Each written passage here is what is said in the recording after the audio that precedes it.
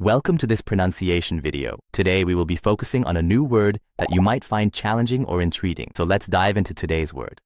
Angebot, which means A proposal or bid, an amount of goods or services offered. Let's say it all together. Angebot. Angebot. Angebot. One more time. Angebot.